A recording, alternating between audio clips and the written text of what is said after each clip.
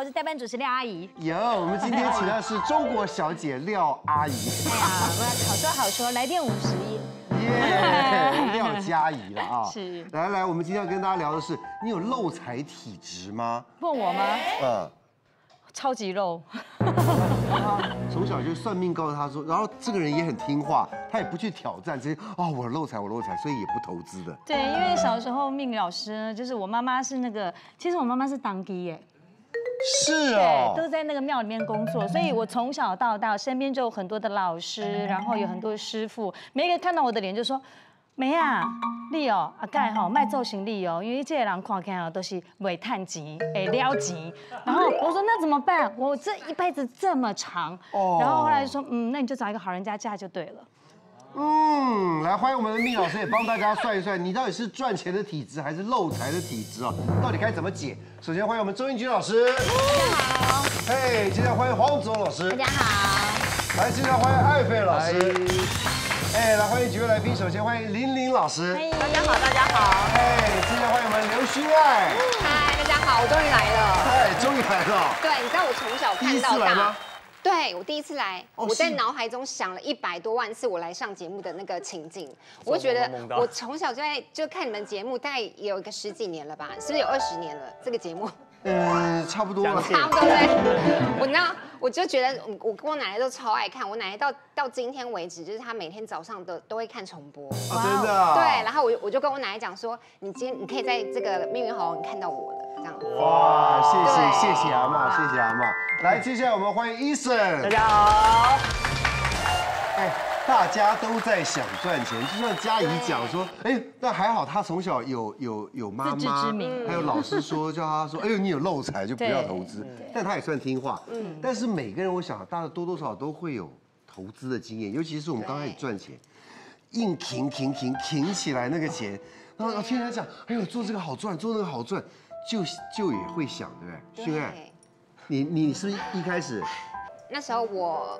呃，那是一个发生在一个还平板还不流行的年代，大家还在刚开始用智慧型手机。我那时候才刚拿到 iPhone 三，然后就已经有听说，就是某个水果要要出了一个平板，很厉害，多多厉害，就是一个很大的平板。然后这时候呢，我刚好在做购物台嘛，我是做模特儿，然后那时候就是有场代。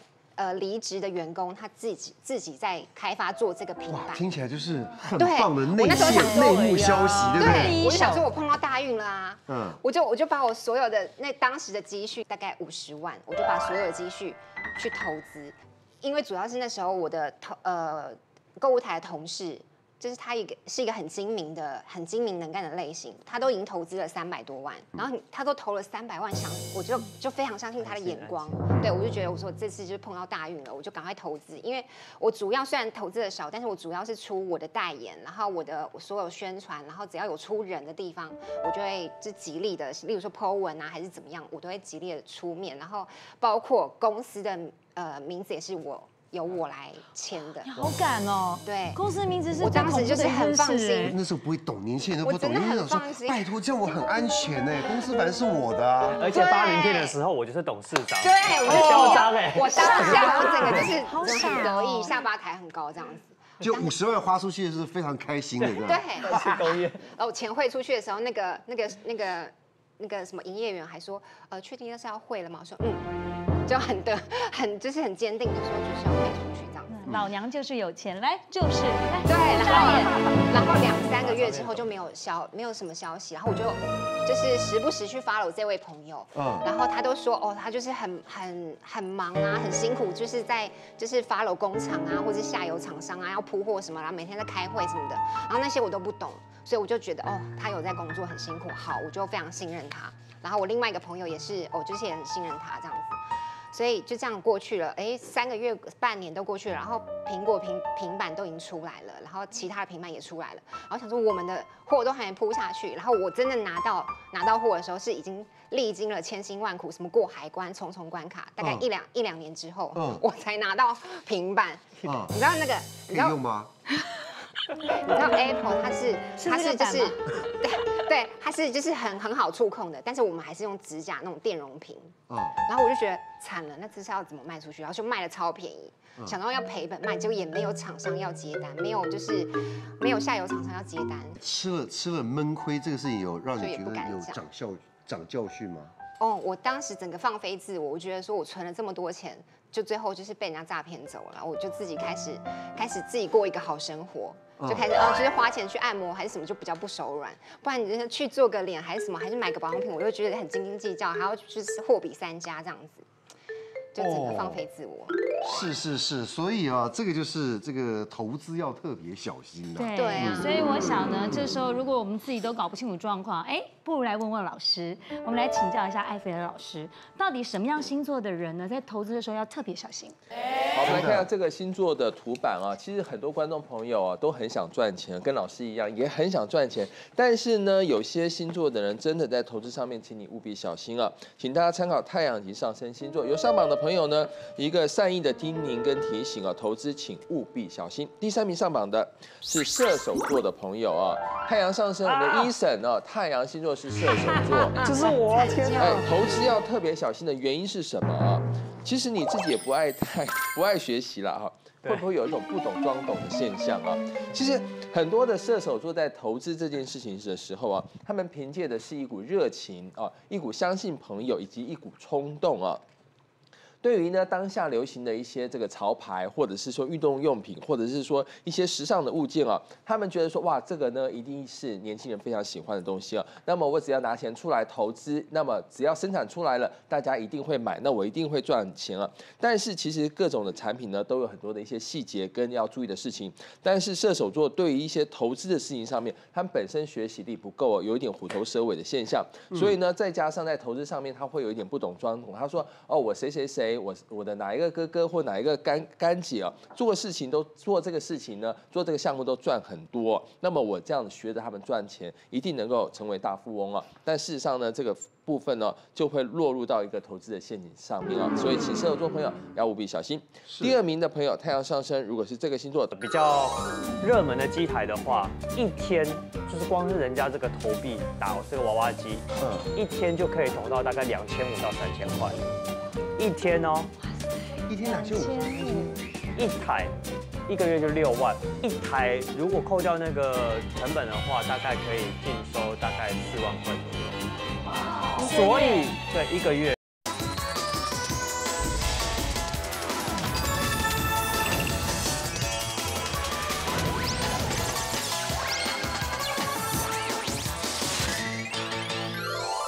二名的朋友，太阳上升，如果是这个星座，投资要特别小心。是狮子座的朋友，我们的这个廖嘉怡哈是狮子座哦，来看看为什么要特别小心啊？狮子座的朋友呢，耳根子特别软啊，而且呢要小心朋友。其实狮子座非常爱交朋友，哎，非常爱面子啊。尤其呢，朋友说，哎，我跟你讲，我现在在投资这个东西啊，马上就要开花结果了，就差这一点点钱了。我们是同学，我们是小学的一个。啊，邻居，我们是一个好闺蜜哦。那么呢，你要不要在这个时候赞助我一下？事做往往在这个时候就耳根子特别软。不是不是，老师，我们不是耳根子软，我们是讲义气。哦，讲义气，然后再加上耳根子软，很容易被人家煽 煽风点火，就觉得说我如果不投资他，我不帮朋友啊，会觉得说自己很不够意思，而且会觉得自己面子挂不住啊。那么呢，因为这个状况就会误信朋友的一些这个建议或者是谎言啊，那么就会投资亏损了。这个部分是第二名啊。哎哎，老师，那针对这样狮子座，有没有点特别，一定要有一个基本的简单记，比如十年没有联络的小学同学电话不接，对不对？嗯，因为这种都没有好事。对，或者说不认识的号码千万不要接。其实我觉得狮子座他有一个在投资上面，他有一个很大的问题，他比较不懂得拒绝对方啊。对呀。他觉得还是会拿钱出来。我觉得给狮子座朋友做一个建议，就是说，人家如果说邀请你做一股，比如说十万或五十万，你就拿一个小额的这个部分去做一个尝试。因为狮子座他也很适宜那种那种赌性的这种特质也很强。他觉得说我不跟上这一波赚钱机会，那我怎么能够？之后能够成为一个大富翁，能够耀武扬威啊！所以呢，你就拿个，比如说拿个五千，或者是拿个一万啊，来试试看这个朋友在做人方面是不是诚信。但是千万不要拿一万狮子座好像拿不出手，觉得丢脸。不可能，他跟我说五万，要面子啊，一定要啊！人家叫五万，你就给他十万，对不对？老娘不是出不起，就是讲义气。好了，那就小心朋友喽哈。好，来看第一名的朋友，太阳上升，如果是这个星座投资特别小心，母羊座全是火象的，是是是。因为呢，我觉得投资上面对母羊座来讲，它有一个最大的问题就是会忽略细节，而且呢，在合约上面，它往往哦。只看了前面啊，只看了后面签名的部分，他只会看一下，跟签日期的部分看一下。至于后面的一些细节的部分，他往往因为自己比较冲动的个性会忘记，或者是忽略到这个部分。到时候合约上面一些，比如说这个要赔偿啊，或者是说要履约的一些问题，他往往成为一个冤大头。有上榜的朋友，射手座、狮子座以及母羊座，在投资上面，请你特别小心。是，哎，谢谢老师的提醒。谢谢老师。但讲到投资，我想大部分人还是会量力而为，对不对？针对自己的能力，所以差不多大部分都是小额的，对，三十万、五十万，要不就同学说，要不隔壁姐妹说，要不然就阿姨说，对，或者是说人家在说悄悄话的时候，特别不愿意让你听到的，你还越特别约定。什么？什么？又弹掉？上是三位，越是这种就越想要知道，就是觉得好像真的是会赚到什么。所以你现在一般三十万、五十万，大概有哪些是可以投资的？有有听过什么泡沫红茶啦？嗯，对。还还有什么？开个小吃店手摇饮，手摇饮啦，三十万、五十万这种都可以。小吃店啊？小吃店就是加盟金啊，什么吃我们这种贪小便宜的心态啊。对，是。所以医生，哎，前两年有娃娃机很流行。对，因为平常这个演艺工作有时候高高低低，你你会自己很没有安全感，这样就想说，如果有一个固定的这种。譬如说一个月有三五万块的这种固定收入，是是，那你就会觉得说，那自己有一个不错的这个呃收另外一个副业的收入的话，你就会比较安心，可以存钱这样子。嗯，所以那个时候呢，我朋友就放了一个消息给我，他说那个花莲有一个非常非常好的地段，就是相相对于台北的话是忠孝东路搜狗的那个黄金地段。在哪里啊？花莲哪里？在花莲的那个中正路还是什么？对，中呃中正路光南商场。的那附近这样子啊，你是花莲人嘛？对，我是花莲人。你已经在台北工作了，对。然后你还有花莲的同学打电话来，对，然后放这个消息给我说，放消息。你下次记得，佳怡姐是花莲人，对我妈妈花莲。哎，对，你以后串联一下。我们家亲戚，让我叫。我们家亲戚都在市政府工作，所以我可能会比较详细知道。然后那个那个地方，它的这个店租其实平常都不可能会有空租的状况，好不容易真的。而且他那个时候还不是空桌，他那时候还有店，只不过那个他的消息是说那个店即将要撤掉了，所以消息对，然后那个地方呢，到时候会开这个娃娃机，那那个场主就是那个。呃，等于说租下那个店面的人，嗯，他会放出三十台的娃娃机在那个店这样子的位置位置，所以二房东他租下来，对他规划有三十个位置，然后你看你要认几台这样。对，那我们就是台主这样子。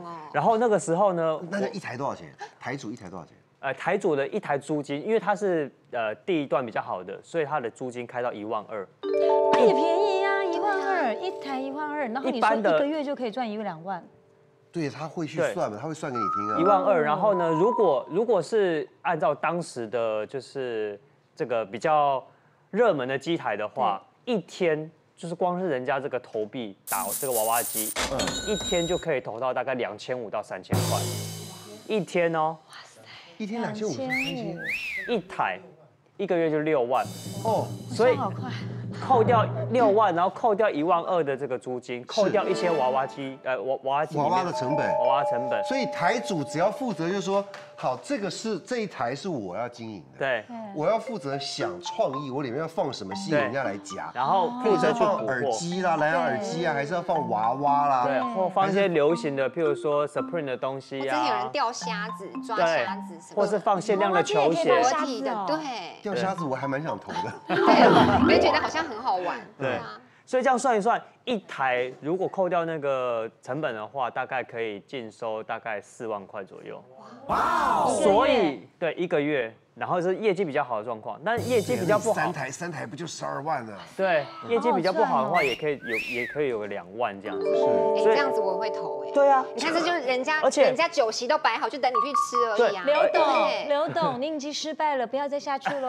怎么样？还有吗？还有，是不是 还有，还有，还有，后来还有。然后后来我，而且我就想说，他的这个风险很低，因为他的投那个一租金一个月才一万二，嗯，所以至少怎么样，你你光是收那些零钱，一定都可以 cover 回来。是，好，然后我那个时候就跟他说，好，那我要三台，对，我就跟他要三台，也算是很保守啊，对，三万六，对，然后还好啦，还好，然后那个时候呢，我的朋友就跟我讲说。哎，因为是我认识的关系这样子，所以呢，他让我先选机台的位置。哇塞，哇，那当然，我想说我去找他，真的，你朋友懂懂推销，这么久，总算有点小福利了，对不对？同学真好，我的人生苦这么久，终于就是就是准备要看到一一线曙光了这样子。大，真的。然后呢，那个场主他就极力的推荐我说，我跟你讲。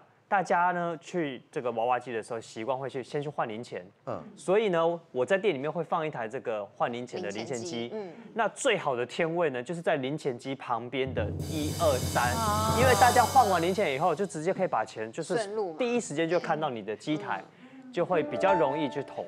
这样子，然后有时候你那一台的位置，大家还排队很抢，哦，要赶快这边换钱，这边直接这样，对对对对对有有这么急？对呀，你还要负责维护秩序，不好意思哦，请排队，还要排队呢。然后我就我就听到这，我就好，好赚哦。对，二话不说，那就是贩卖呃。零钱机旁边那三台我包了，这样。对。结果，那当然他很聪明，而且他是有计划的，一步一脚印的在做。他不会就是说刚开始啊，人家说东好你就去做东，人家说西好你就去做西。这样子的话，你常常就是把钱拿去垫背，帮别人垫背，因为你可能做到差不多好的，你就不做了，那别人就顺着你的路，他就赚钱。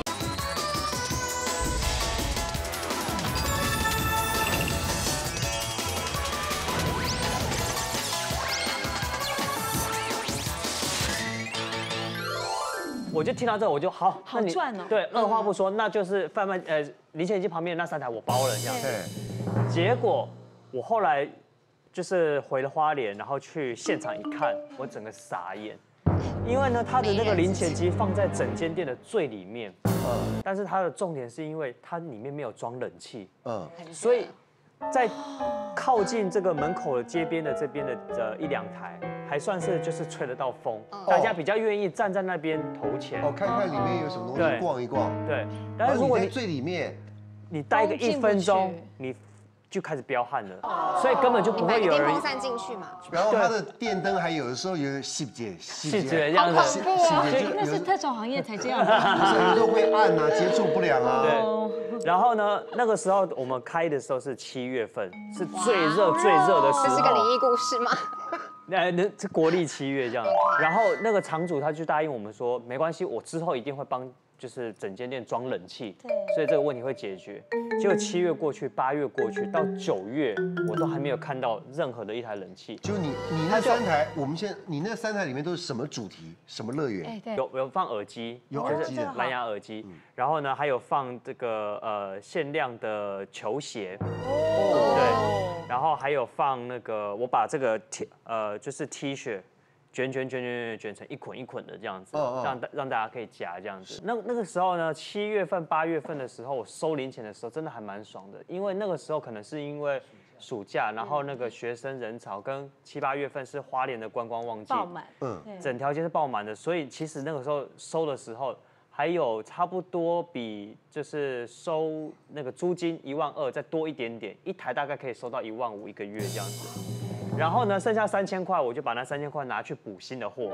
嗯。然后我就想说，哎，因为要投资，然后所以呢，我这三千块就去买好一点的。我后来就去买那个日本直接呃原装进口金标的公仔，因为。如果是金标的公仔的话，大家一看到就会比较有愿意想要去下重本。对，因为如果是呃金标的话，代表是日本的原装。哇，你问题是你那金标一只多少钱？那公仔一只的这个进价大概就要一千一、一千二。人家投一次十块钱就可以抓一次。对，哇。然后呢，我们还要设保夹，保夹呢就是如果人家投持续超过，就是譬如说一万呃不一千三或一千四的话。你这一台就算人家没有夹到，你还是要出给人家。对哦，还有这样计算方式。对，我后来呢，呃，过了七月八月以后，嗯，我还没有看到任何一台冷气，那个厂主就放了一台工业电扇，然后就噗，那个工业电扇那个声音把财运吹走了。对啊，然后那个 工业工业电扇那个那个那个声音又很又很大声，所以会让人家觉得走进去以后就有心浮气躁的感觉，大家根本不可能就是在那个地方好好打台。结果我七月八月过去了，九月的时候开始那个学生课也少了，然后观光课也少了。我那个时候一台这个机台，我这样打开那个零钱机的时候，我整个心酸哎。多少？一打开的时候，这样叨叨叨叨，八颗十块的硬币掉下来，一个月一天一天一天就八颗。可是呢，我这样子会吧？是不是被人家偷了还是？我们我们都有监视器的。八颗，然后呢？对，你算什么？才八十块，所以后来第三个月开始，我每一个月一台这个机台的租金，我几乎都要赔掉八千块。然后三台我一个月就赔了两万四，一直两两万四、两万四、两万四、两万四这样子赔。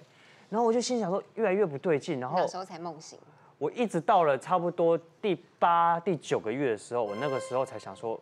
不行不行，不能再这样每个月两万四这样烧下去，因为我那个时候已经烧掉了十几万了。哦，哇，十几万对我来说也是非常非常就是很伤啊，对啊，而且你还要花很多时间去进货，然后去补，然后还要去调监视器来看这个要不要调爪力这些时间成本这样。然后我那个时候要打算要停止这个赔本生意的时候，我就跟那个厂主说，呃，那那那我们就解约这样。就解约的时候，这个厂主就说他们那个台子啊，跟我们一般在外面租房子是一样的。当时我付了两个月的押金，他两个月押金，他说如果你要提前解约的话，两个月的押金不退，不退。所以我那个时候一台一万二，然后两个月押金两万四，我光是押金我就赔了两万四乘以三，七万多块。哎，可是话讲回来，这也不可能只是说你没赚，那有没有别的台主是有赚，他的生意有非常好的？整间店只有一台，一台机台有赚，就是在这个最靠近马路边的那一台。嗯，因为大家走路经过的时候会看到他的机台，而且是什么？对，而且那你那那个位置比较凉。嗯。所以大家里面放什么给大家讲？哦，它是放那个呃有牌子的香氛蜡烛，跟那个熏香，就是插一根一根一根那个熏香的那个。哦。对，那个时候就觉得说，不止赔了这个租金，然后我的货也都出光了，赔光了这样子，我血本无归。然后那一整个投资下来，我损失了将近二十万。可我觉得有的时候投资哦，真的不能自己想，嗯，爱听人讲，对，不是像我，你看我多乖，我就听我妈妈讲，听老师讲，所以我觉得最重要是哦，你要投资之前先去算个命，或者是问一下老师，是不是？我们来请教一下周应君老师，什么样手相面相的人，他比较适合投资自己当老板？嗯，对。通常比较适合投资的人，都是要比较有长远的眼光，还有他要有处事要比较冷静，有些时候不能太急躁，因为太急躁。就是比较没办法冷静的清楚看到你事后的那个状态，所以一定要有冷静的处理，要看看这个严谨到底如何，要一步一步来，还有决策力也要强，你不能说已经看好了，你还在想还在想，人家都已经赚钱赚完了，你还在想还在考虑，有时候心胸也要宽广一点，不能因为刚开始呃。一两次赔钱你就哦我说收了，那可能就就金价撂起啊。那也一一定要有好的人脉，因为好的人脉就是这个钱脉，有别人可以帮你赚钱呀，甚至于别人来介绍你种种，这些都是可以好好当老板的人。那现在我们来看看哈，真的有一些人是他的那个个性方面，且或是他的那个应该讲应试方面，他是真的可以好好的当老板，可以适合自己当老板哈，创业的。那我们来看看他比较能够。清新规划、精切沉稳，这种人就是比较沉稳哈。他这个就是额头比较宽广、比较饱满的人。通常我们叫额头就是官禄宫，官禄宫也就是我们的事业宫。如果说要知道说我能不能好好的投资，我投资能不能一帆顺利，他就是一定要看那个额头，就是看你的额头饱满。起码不管怎么样，你一定要有这样的运势，因为你运势不强的话，你从能力太强也没有用。因为有些时候真的创业当老板也要加一点点的运势，所以这个运势是很重要的。那当然。他很聪明，而且他是有计划的，一步一脚印的在做，他不会就是说刚开始啊，人家说东好你就去做东，人家说西好你就去做西，这样子的话，你常常就是把钱拿去垫背，帮别人垫背，因为你可能做到差不多好的，你就不做了，那别人就顺着你的路，他就赚钱了哈。所以这种人通常就是他会注意，他不会看眼前的这个得失利益就来决定他要不要做，他一定会有长远的计划、长远的规划的哈。所以他这个都是相当聪明的，就适合当老板的人。天庭饱满。再来就是。我们讲处事能干，还有就运筹帷幄哈。先不要告诉大家测什么，我们先一起来看题目。题目就是呢，有一座这个梦想的旋转木马，上去之后呢，要能够在旋转的时候做下列一个动作，才能够完成梦想。我们有四个选项，A 的选项是站立不动，因为正在旋转嘛哈。B 的选项是抓到气球。C 的选项是抢到金色的马，D 的选项是找到绑在马上的红色缎带，直觉来选。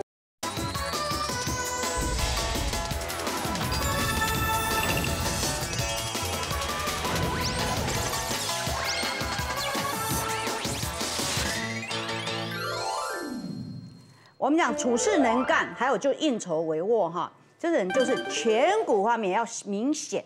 这个颧骨很重要哦，颧骨要明显而要肉。如果是光颧骨哈，就是只有骨头那个就不行。因为这种人通常就是掌权的，他其实可以运筹帷幄，什么事情都可以很清楚。啊，这种人对权力的追求，对那个个就是掌控权的追求，他是非常非常有他自己的一套。他知道他想要做什么，知道如何的去追求他自己的欲望，只要知道如何去追求这个事业的成功。这种人。通常他就会比较创，他比较知道创新，他也比较能够追求薪资。他有些时候是走在人家的前面，而不是跟着人家后面走。通常跟在后面走，当老三老四的，一定都是赔钱的。因为一个新的事业在赚钱都是刚开始，那个如果一一缝起来，就是他们就赚钱。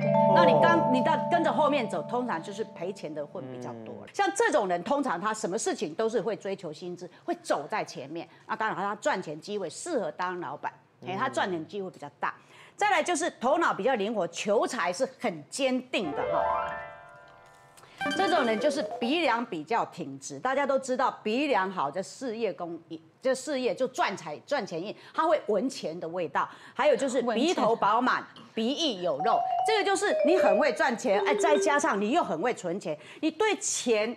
你很就是那个那个感觉非常的敏锐，嗯，你知道说哎钱在哪里我就往哪里走，所以说你看看那个大老板，大家通常这个鼻子都是很漂亮的，因为他自有他很有自信，很有主张，知道怎么样去做，而且他做事能力也很强，他执着力也很强，他怎么他做的事情他都看得很远，就眼光看得远，而且应该讲他也比较有运势，有存钱的运势，有赚钱的运势，所以通常这种人也比较适合当老板。可是长相都已经注定了，都确定了，没办法。那，哎，现代的风水是不是可以帮忙一下？我想问一下玲玲老师，会不会刚好也有很多观众朋友跟我们今天两位来宾一样，很想赚钱，然后也很认真，但是没办法，就是一直漏财。可不可以透过风水，我们来补一些财运？哎，让我们也可以赚一点钱。应该讲说是我们，我们讲说是一个。布局摆正的方式，对，可以吗？对，可以啊。如果呢，观众朋友，你们有像这个医生还有心爱一样呢，常常呢，哎，很会赚钱哦，可是又一直漏财的话，好。今天呢，老师就把自己的法宝，这个聚财的法宝呢，来教大家。哦，你们就要注意听喽。哦，其实这个聚财聚财的法宝是什么呢？你们大家都有的，赶快看看你家里有没有聚宝盆呐，不是吗？所以今天呢，老师来这里就是要来跟你们分享，怎么样又带财又可以防漏财的基本元素。第一个呢，一定要五行五行呢都要俱全。五行缺，它就会去克到别的地方去，那就会阻碍到你的事业财运。所以五行一定要俱全。你们可以去找一个，就是它的聚这个聚宝盆上面有木、火、土、金、水，好，全部的颜色都在上面了。五行能量俱全呢，才能够这个招财旺财，哈，这个我们赚钱就没有阻碍了。好，第二个元素呢，好，我们看一下，很多老师呢教你呢，在家里要摆聚宝盆，旁边一定要有一对什么？貔貅，貔貅，对对对对，只进不出，对，只进不出，对，好，就已经结合在聚宝盆上面喽。好，好，那这个貔貅一个是要干嘛？大家都知道的叫咬钱，对不对？一个呢就是守住财，嗯，好，守住财，然后守住财还可以让你的破损的财库能够把它怎么样修补起来？哇，对，哈，已经做到了什么？做到了招财，又做到了什么？守财的功能？哈，在这个聚宝盆的这个这个里面，哈，这个里面呢底部，哈，会有一个经文哦，黄财神的星咒。好，黄财神的星咒有一个凹槽的地方，黄财神星咒呢就环绕在旁边哈，所以呢有这样黄财神的这个呃星咒在里面呢，它才能够启动你的聚宝盆呐，没有的话怎么启动呢？才能够加速你的什么滚财的能量喽，哈，好，第四个元素那个聚宝盆旁边，哈，像我带来的这个聚宝盆。它会有一些呃吉祥的图腾呐，会招财的图腾。好，你看这个聚宝盆旁边都会有这个钱，有没有钱布满在这个三百六十度哦，布满在这个聚宝盆的这个瓶身。第二个呢，吉祥图腾呢一定要有什么？有一个锁，叫做金库锁，哈，要把它锁住啊，哈。再来有一个这个八方哈这刻印的这个图腾，好，具有这些招财图腾的话。就可以让你的聚宝盆呢，怎么样增加它这个旺财的这个能量喽？这个聚宝盆你找到了以后，你还要再准备三样东西。第一样呢，就是白色的水晶，是要拿来净化磁场的。第二样呢，就是五行的六地，六地钱。哈，这个六地钱呢，呃，就是要来化煞为财的哦。哈，可以把旁边的煞都把它化解掉以后呢，还可以转为财进来。好，第三个就要准备一个。这个八吉祥的金币，如果你没有八吉祥的金币，没有关系，不要紧张，好，不要紧张。你也在准备了五十块，因为五十块是个金色的，哎，你就准备金那个五十块，哈，好，你就把它放放在桌上以后呢，开始呢。呃，你要先把这个八吉祥哈，把你要先禀哦，你要先告诉他，你不用再写什么红字，有的没的，不用啰嗦了，哈，你就直接告诉他，哈，玲玲呢，呃，出生年月日就把它讲下去，然后呢，告诉他你要放这个你的法宝的这个住址，嗯，你要清清楚楚的讲，如果你放在办公室，你就要跟。跟这个聚宝盆讲，你放在办公室的那个柱子。讲完之后呢，拿着你的这个金币，哈，拿八吉祥金币，然后要放在哪里？老师刚刚有讲，我们这个聚宝盆里面，哈，有一个凹槽，凹槽的地方，就把这个金币或五十五十块的这个金呃硬币呢，就把它放进去。但是你放的时候，因为旁边有黄财神星咒，你一定要念黄财神的咒语，哈，那你边念。就要开始把这个金币放下去，所以你要边念的时候，就要像老师这样子，嗡赞巴拉扎楞赞那也收，哈，就把它放下去。这个时候，你的聚宝盆全部已经开始启动了。好，启动的时候呢，我们就把这个白水晶放下去，哈，白水晶放下去，然后再把你的这个六呃五帝钱呢吊饰再把它放下去。嗯嗯。我们就完成了这个法宝的整个启动，那你就可以放在你家的玄关、客厅，还有你的办公桌的左边，然后放在如果做生意的人呢，就放在哪里？收银机呀、柜台上面。那现在呢，譬如说我放在家里的客厅，我放下去，记得好，你放下去的那一刹那，还要念一个招财的咒语，好，那你就学老师这样子哦，放小了，这个位置放好了。貔貅貔貅咬钱来，祝我发大财！你们就要这样子念，念三遍哦。貔貅貔貅咬钱来，祝我发大财！好，这样子我们整个招财又防漏财的这个秘法呢，老师拢敢外配博龙嘎好利呀！祝福各位呢，能够招财旺财，又可以不漏财喽。谢谢老师。对，我觉得不管呢，这个先天后天，或者是你要摆什么阵仗呢，来帮助自己哦。嗯。有的时候人呢，自己心里面的一个念头是最恐怖的。哎呦。所以我觉得现在来请教一下黄子荣老师，他要来帮我们做一个恐怖的心理测验。好，我们现在呢要先测验，但是先不要告诉大家测什么，我们先一起来看题目。题目就是呢有一座这个梦想的旋转木马，上去之后呢要能够。在旋转的时候做下列一个动作才能够完成梦想。我们要做四个动作，到底你觉得做哪个动作是比较能够完成梦想的？我们有四个选项，A 的选项是站立不动，因为正在旋转嘛哈。B 的选项是抓到气球，C 的选项是抢到金色的马，D 的选项是找到绑在马上的红色缎带。直觉来选。你觉得站在旋转木马上，你要做哪一个动作可以完成梦想呢？直觉。哎，来，老师，玲玲老师。C。抢到金色的马。来，旭爱。嗯，抓到气球。嘿。我选站立不动。我要选 C。C，金色马。来选红色的缎带。第四个。D。D。来，嘉怡。你要完成梦想应该是难一点吧？那个站立不动太简单了，嗯，很不劳而获。我要选 C，抢到金色的马。是哦。我选 D，找到绑在马上的红色缎带。这个要测什么呢？每个人都看好了，选好了，我们来看一下要测什么。就是它就是呃会自动自动搬到我家来，然后我我想要叫他帮我分担一点房租，他就会跟我说，哎，那你之前怎么付的房租？他居然跟我讲说，那你之前怎么付的房租？就没有要帮我付的意思。不要住，对，又不付房租，然后又要住还又要用，对。还有一个男朋友就是他从他前女友家搬到我家，他没有自己的家。对，他说他已经分手了，但是还住在前女友家。我说，那你赶快搬过来啊！我就真的很想，白痴，不然呢？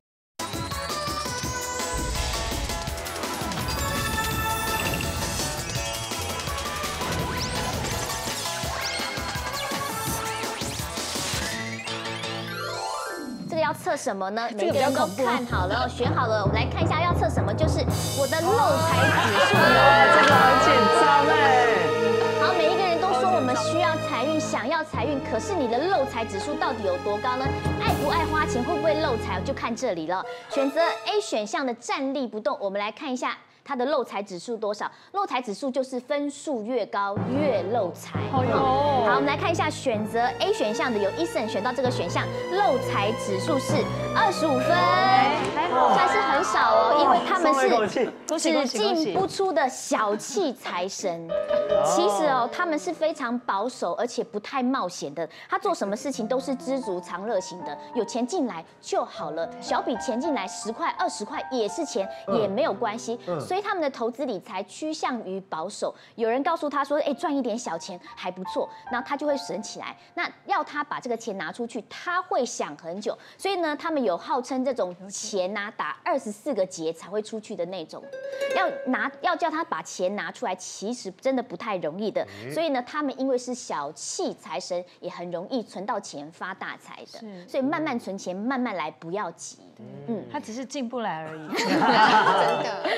好，接下来也出不去啊，这样很好。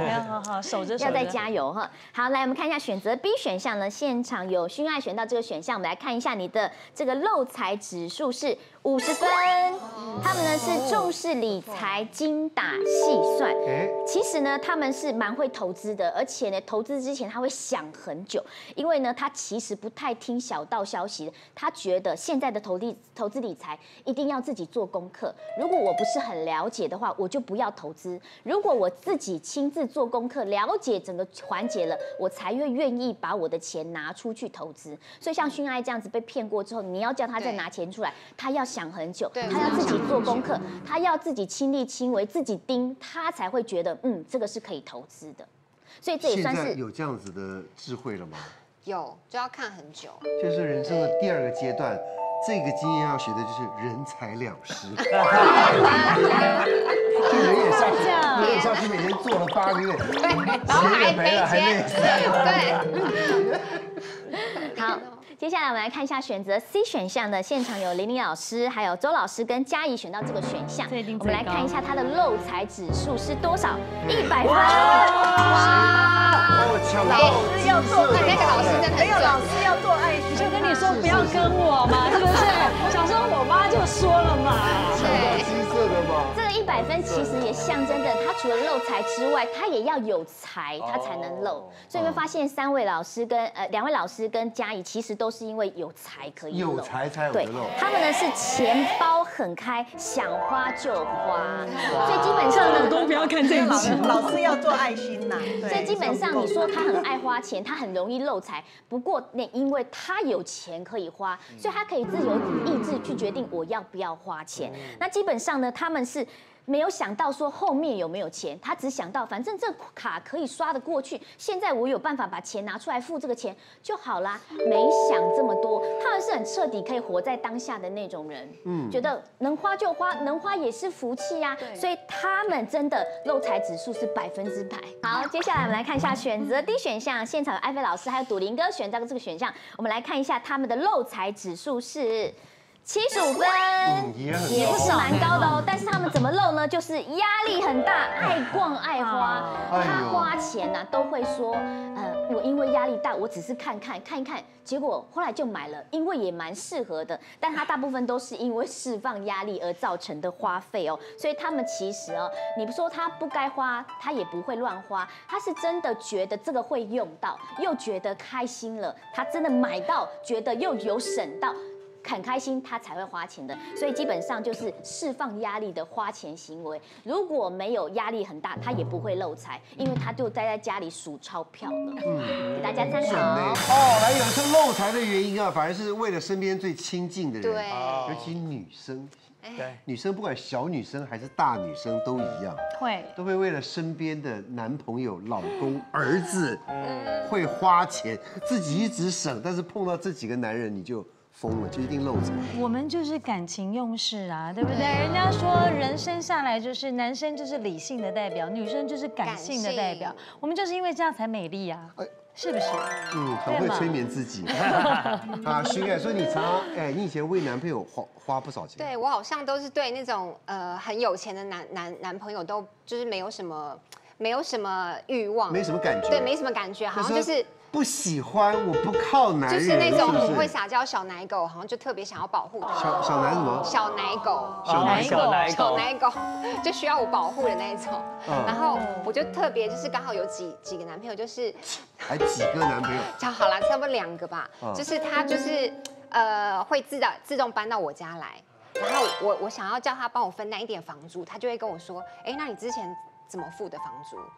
他居然跟我讲说，那你之前怎么付的房租？就没有要帮我付的意思，又要又要住，然后又不付房租，怎么可以这样？又要住，对，又不付房租，然后又要睡，又要用，对。对对，少人用水用电，不好意思讲那么弱，还很怕热，对，我在我在对我在上通告，他给我开一整天冷气，真的，对，怎么这么傻呀？对，然后什么电那个什么汽车坏了要换电瓶啊，也是叫我出钱什么之类的。对，然后还有一个男朋友是他从他前女友家搬到我家，他没有自己的家，也不爱工作，嗯，所以他就把我家当做前女友家搬到你家，嗯，对，他说他已经分手了，但是还住在前女友家。我说那你赶快搬过来啊！我觉得真的很像，这么白痴，不然呢？哎，自己的男朋友住在前女友家，这样像话吗？呃，对呀，然后他又没有工作，那是不是就理所当然就住到我家？对对呀，你讲的是很合理嘛？但是这个男朋友是什么条件？有有很帅吗？各方面都很合，然后就他是又帅又好用吗？为什么这么的爱他？还不错，就是就很喜欢嘛，反正就是这样。然后就住到家里，没办法照顾他自己，他怎么能照顾你呢？刚开始他非常无微不至，然后这久而久之，他就是你知道，连那种。就是机车要加油的钱都会从我钱包里面翻。机车要加油，对，才几十块的事吧，一台一两百。完全没有工作两三年，然后然后叫叫他去找工作，他大概就是去个一两天，然后两三天就不做了。然后他会他会想说，他说啊这个工作不好，这个工作时间太长，那个时间又怎么样？他会觉得说没有时间陪你。好贱哦！这句话，反正讲到最后就是没有时间陪你，所以我就不做了。对啊，他说这样我们相处的时间都错开，我不要。但是刚开始这句话超有用，对不对？对，我说没有时间陪你哦。对啊，对哦。我说好啊，不要做，不要做，不要做，不要做，都来陪我好了。对，然后就想说，哎，回家可以看到看到他，然后就是他就把家里整理的干干净净，就觉得还 OK。但事后他真的就是一回到家，他们打电动啊，旁边都是堆满了零食，这样真的当网咖。哦，对，你这么漂亮，为什么要养一个没用的废物？所以就分分合合嘛，然后最后才真的分掉。都不会说是没用的废物啦，你别看它表面上看废物，一定还是有可用的地方，对不对？就是说你的意思是？是啊，对不对？可以扫地。哦，来来来来来来来来，哎，所以你也为了，你也花钱为了跟这个爸爸跟弟弟什么？对，为了家人，因为我其实呃，我就我爸妈离婚之后，我都一直住在我奶奶家，我就跟我奶奶一起。爸妈离婚之后，你住奶奶家？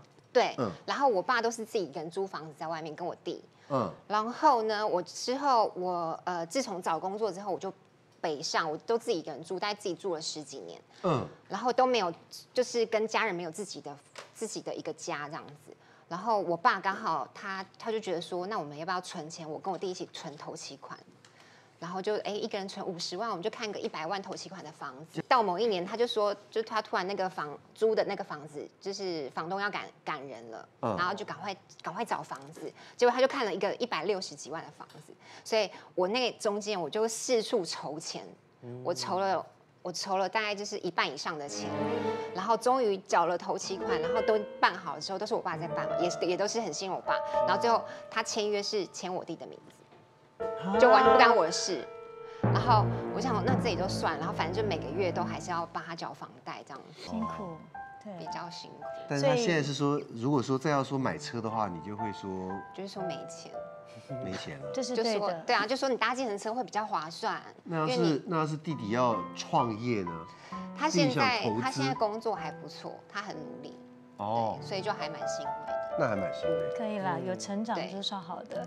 那其实很多人都是这样啊，像我也是，都是赚了钱，家人过得不好，你还是要伸出援手啊，对不对？我们运气比他们好一点嘛，所以他们运气不好，我们就是要帮他嘛，这也是一个。我觉得是一个呃缘分，也是自己有能力，谢谢自己上辈子的好的一个姻缘这样子。你别这样讲，哎，你是你谢半天，你这些年你都没工作，你要谢谢你老公没翻脸才对吧？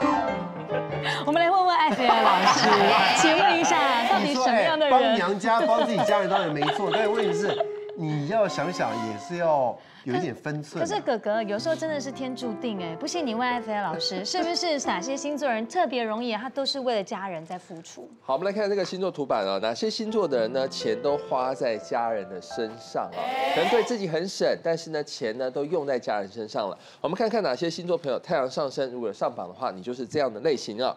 第三名上榜呢是太阳上升，如果是落在双鱼座的朋友啊，你是会把钱发呃花在自己家人身上的。原因是什么呢？因为你觉得把钱花在家人身上啊，你不心疼呢。其实双鱼座的朋友来讲，不管男生还是女生啊，对家人这一块，永远是他们心里面最软的那一个呃情感。他觉得说自己有能力啊，那么自己如果是说赚了钱。能够把一点钱花在自己的父母身上，花在自己的弟妹身上啊，你觉得这样的付出，其实其实你回收到更多的满足跟幸福感呢？所以对于双鱼座的朋友，他不会吝啬用钱在家人身上，他反而觉得这是一份。一种满足的这种感觉。我们来看下第二名的朋友，太阳上升，如果是落在这个星座，他投资虚拟货币，然后就赚了钱这样，而且他的虚拟货币赚了大概五倍六倍有这样子。我要去美国，我当时放了一万块美金，收一台 B N W 啦。对，我那时候心想说啊，我应该会回收个两万美金、三万美金，我应该就可以买个什么手表啊，买个哇什么什么这样子，在美国这样子，或者是去住个五星级饭店啊，或者坐个直升机去大峡谷啊什么。想太多，我的画面都出来了。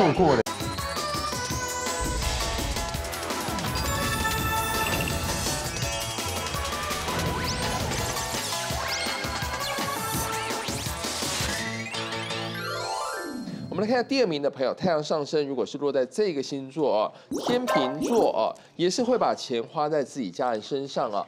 我们来看一下天秤座的朋友，他觉得。乐于照顾家人的大小事情啊，这是他们。心甘情愿的事情，大家都知道天秤座其实是非常依赖的啊。那么在家里面，从小的时候，他觉得说跟父母的情感、跟兄弟姐妹的情感啊、跟手足的情感，这份的亲情是非常浓厚的。那么往后自己如果说呃进入社会里面赚钱了，他觉得说有用这个报酬来回报给自己的家人，这样的事情呢，他是非常乐于去照顾的。他觉得这份付出、这份这个奉献啊，其实得到的是更多的满足跟幸福啊。所以呢，天秤座也是如此。再来看第一名的朋友，太阳上升如果是金牛座的朋友啊，也是会把钱花在自己家人身上的原因，是因为他对自己非常的节俭，但是对家人非常的大方啊。金牛座呢，其实是非常。呃，务实的一个人，他觉得钱是非常珍贵的，因此钱这个珍贵的东西必须用在一个珍贵的人身上。因此呢，他对自己的家人，他觉得家人是自己最珍贵、最期待让他们幸福的这样的一个对象啊。所以呢，他对自己会比较节俭，他觉得自己可以吃的少一点，自己可以吃的不用这么样的丰富。但是对家人呢，他觉得看到家人幸福跟满足，以及那一份喜悦，他觉得这样的一种。呃呃，自己的奉献是非常值得。那么有上榜的朋友，双鱼座、天秤座以及金牛座都是会把钱花在自己家人身上的，给大家做参考。哎，谢谢老师。哎，但讲到就是这个投资啊，刚刚老师就讲说，哎，人脉很重要。对。拜托讲人脉，我们认识的朋友不够多啊。是。到处各路人马，三教九流都有。但有时候就怕这样的朋友太多。医生。说你听朋友的话，投资虚拟货币。对，听朋友的话，刚刚也是听朋友的话。他就是人脉广啊！你说，哎，讲到虚拟货币，那时候人家什么虚拟货币？虚拟货币，我我那时候我连我连我的邮箱密码我都背不起来，还虚拟货币到底是什么？我那个时候呢，要我有一个从小到大一起长大的，就是好朋友这样子。也在花莲吗？呃，他后来到美国去了。然后他在美国念的又是国际贸易。哇塞！所以专家对他那个时候就是一个非常非常专业的那种理财啊、财经的那种专家这样子。Follow。对，然后呢，那个时候我每一年过年的时候，我都会去美国找他玩这样子。那真的。然后三年前的时候，我去找他的时候，他那个时候因为学费太贵的关系，然后生活费也贵，所以他就开一台 Toyota 的这个小破车这样子。嗯。就在隔一年我去的时候，他换了一台 B N W。然后，然后那个我就说，哎，你不是。不是呃，就是你钱都花在学费、生活费，怎么还会有钱换车这样？他说，因为他投资虚拟货币，然后就赚了钱这样，而且他的虚拟货币赚了大概五倍、六倍有这样子。然后那个时候我就说，好，那我就我就我准备了一万块的这个美金，哦哦，大概三十万的台币这样子。我说我因为我就我就等于说有点盲下了，就是盲盲跟这样子，他下什么我就下什么这样子。嗯，所以呢，我就放了以后。我就再隔了一年，我想说，哎。我要去美国，我当时放了一万块。收一台 B N W 啦。对，我那时候心想说啊，我应该会回收个两万美金、三万美金，我应该就可以买个什么手表啊，买个哇什么什么这样子，在美国这样子，或者是去住个五星级饭店啊，或者坐个直升机去大峡谷啊什么。想太多，我的画面都出来了。结果我就问他，我说，哎，我一万块的美金剩多少？他说剩一千块的美金。我说发生什么事情这样？数学不好吗？他说因为。那一年刚好是那个虚拟货币的泡沫破掉，你看你跟太晚了吧？老师看你的内向就说你跟太晚了。对，然后我就说，可是可是那个你不是说虚拟货币是未来的趋势，不可能会消失的一一种货币，应该是会慢慢涨起来。对，他说，因为他下的是。就是以太币，还不是那个比特币哦，是以太币，然后也不是以太币本人哦，是以太币的子公司，就是就是我已经被他的分身啊，对，不是老板，你说什东西？以太币。就是这个的币种，我以为是泰国的泰币啊，没有没有没有，以太币也是一种虚拟货币。啊不啊，所以除了是只有比特币、比特币，对，我只知道比特币耶，比特币、以太币、以太币、比特币、以太币跟以什么？你是以太币。的子公司，叫做已经赔了，已经赔了，我已经不知道移到哪里去了。然后我就说，好，那我这一千块，他说，那你一千块要继续放吗？我就说。当然不要啦，一千块拿去做直升机，对，我至少就是还可以拿回拿回来一点点这个本这样子。后来呢，衰的事情才在这边，我拿走就对，一一一回台湾，大概隔三个月吧，第二波的那个虚拟货币。又飙起来了，哎呦，虽然没有第一波飙了这么高，可是它至少也飙到大概一半的那个幅度这样。嗯嗯，是。所以我又错过了那一次，就是你完全跟上就是泡沫期，就是对，就是条规狼规，刚好都是泡沫期。然后 然后泡沫在发酵的时候，我又没有跟到。你最后连一千块本钱你又抽出来，所以最后那一波又没跟上，又没跟上。所以呢，我等于说那那次赔了九千块的美金。美金。九三二四，那个时候二十七万。这种朋友一定要交，你知道吗？在人生当中，如果交到这种朋友，我们买股票的时候，他买涨，我们就买跌，跟着他反反向操作，我们一定赚啊！哪有人衰到这么准的？所以你还另外还你听爸爸的话买黄金存折，黄金存折这也是一模一样的。因为黄金呢，大家都说之前几年的时候都是一直涨，一直涨，一直涨，而且大家都说世界上黄金就这么多，所以呢，你有这个东西的话，你是不可能拥有全世界，它是保值的。然后呢，我记得那个时候高点黄金是呃一千七百多，我是那个时候进去买的，然后一千七百多的时候，我相信它会飙到两千这样子，嗯，就一千七百多，我买进去以后，它就开始咚咚咚咚咚咚咚，也会跌，跌到一千两百多。那你看了有没有很心疼？我又看到，我天哪！一样啊，就是就是那一波，我的那一波的跌跌幅，大概又赔了十几万出去。我把我平常就是在演艺圈工作，就是存的一些钱这样子，又这边赚来，然后那边赔掉，这边赚来，那边赔掉这样。然后呢，好了，我打算不玩了。结果你知道，现在黄金嘣嘣嘣嘣又涨，稍微的涨，现在涨到大概一千五。所以我我从一千二到一千五这段又没有跟上。就是一模一样的事情，一直在我人生当中重复的发生，这样子。我买它的最高点，然后出场后在最低点，然后它反弹的时候我又没跟到，每次都这样。总要有人当下人生一直活在懊悔当中。对。你有想过？你有想过找汪洋中的浮木扶你一把吗？我需要，我不只要浮木，我需要一艘船。我帮你介绍，我拉上岸。好，我现在就帮您介绍浮木，就是玲玲老师。你帮他看一下为什么他这么可能真的要骂人，漏财太厉害了，帮他这个救一下嘛。嗯，真正真正的解决办法就是要从你的前世里面去，我们去找原因，为什么我卡住？好像一审的话呢，从你的前世里面，一审主要就是来到这一世。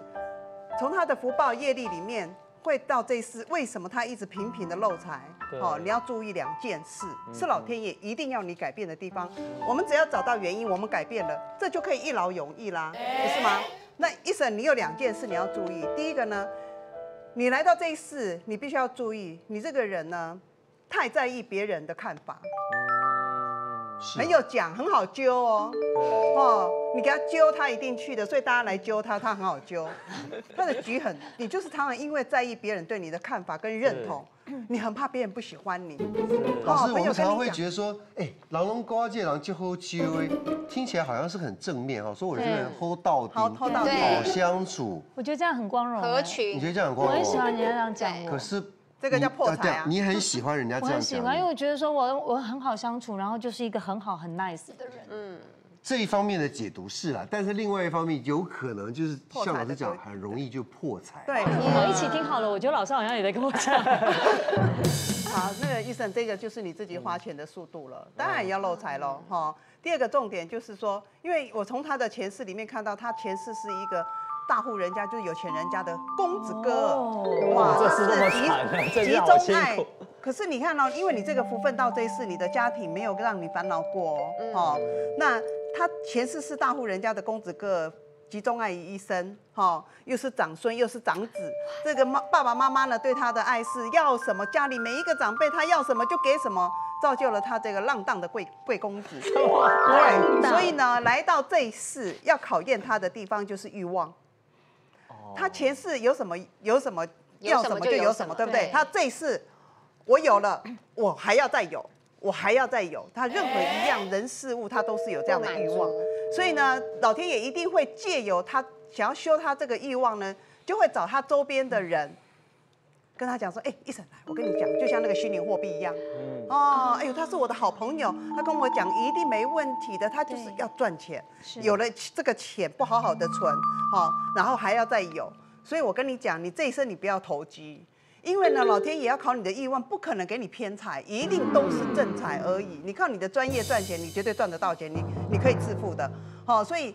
你看看，你每你每一个漏财，第一个是考你的欲望，第二个就是要考你，又就就是要修，要修掉你那个怕别人不喜欢你的这个感觉嘛。嗯。哦，但是还有一点，我要警告一声，警告。除了这两件事，他一辈子会让他破财漏财的，对不对？是。哦，你赚再多钱都没有，有一个是很可怕的，我看到。通常钱股就是代表你的潜力、你的工作、你的事业。如果是在这里的话，可能在事业方面就会出问题。很可能你本来管理能力什么都很不错，但是你这一阵子可能心浮气躁，那些小人都会跑出来的。这样子你就莫名其妙的，你的整个工作就这样子翻转，好像是或是没有的。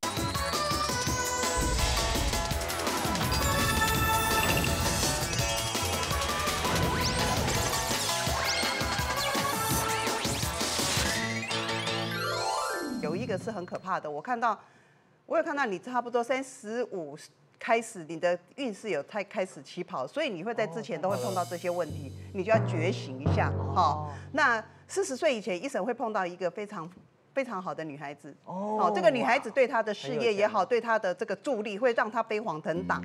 但是因为她飞黄腾达以后流连忘返，在外面，你不要招惹感情，这一生你就死在这一块。你如果招惹感情了，因为这个情而让你这一生毁了家、毁了事业、毁了前途、毁了财，你一生就没用了。哇，好。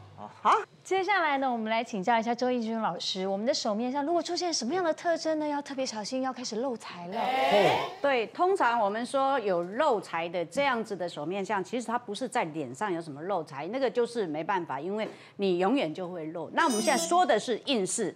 因为运势比较重要，就是有时候我们因为运势漏财，我们可以避免的。嗯，那我们现在知道，就是要告诉你是可以避免的这样子的漏财，你小心一下。如果说你很辛苦的去赚钱，很辛苦的赚钱，没有注意，你破财或甚至于落财。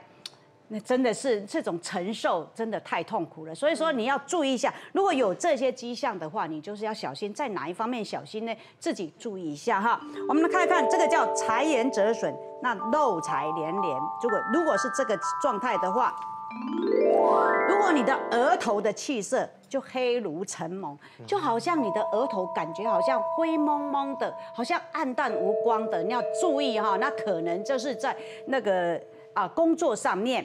好，无端会出现一些麻烦。那有时候你一直在解决这些麻烦的事情，但是麻烦还是一直出来，而且财运方面会一直的感觉好像一直的肉，额头哈有气色灰蒙的时候，你一定要注意哈，人呆财做保，不能帮人家做保，不能帮人家瞪眼看，什么事情都没关系，我来我来，这个你借他没问题。我其实我觉得这个人很好，那个不是你可以做的事情哈，所以注意一下。真的有这种哦。真的啊，现在有没有比较少一点这么笨的？